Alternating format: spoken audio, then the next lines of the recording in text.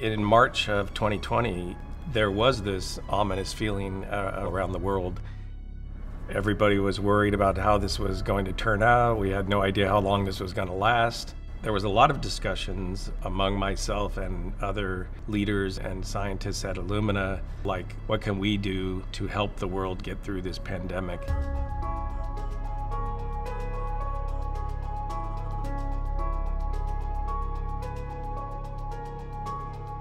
Early on, during the first patients that were identified with uh, atypical pneumonia in Wuhan in China, the China CDC connected with Illumina. Now we have public health institutions coming to us and saying, hey, Illumina, we need your help.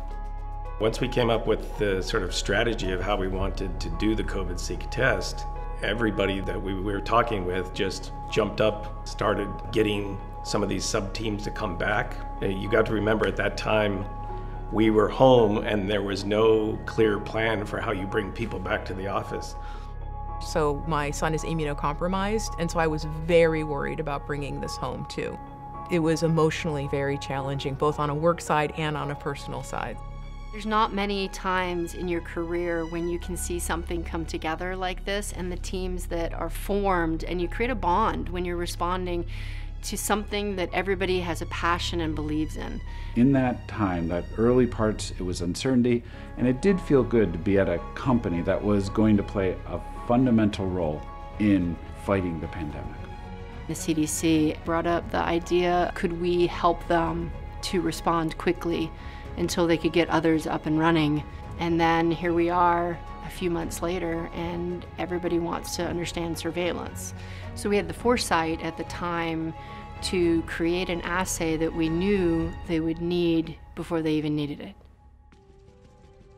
Primarily, our intention was to participate in the testing, but as the pandemic has has gone on, the value of sequencing and understanding the new variants has really become so important. It was definitely very collaborative, very open, and it was really exciting to see people who were willing to put in the extra time knowing that it was something so critical to the CDC, critical to the United States, critical to the world in terms of tracking variants.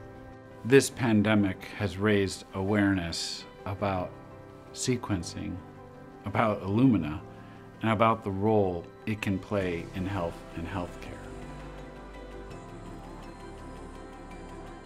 All of you, from manufacturing to support to legal compliance, product development, marketing. Thank you to everyone who worked on this. Thank you for, for stepping up. Thank you for jumping into that crazy project. Thank you for making sure that Illumina did everything we could to support laboratories and clinicians in fighting the pandemic. We did this. We did it together.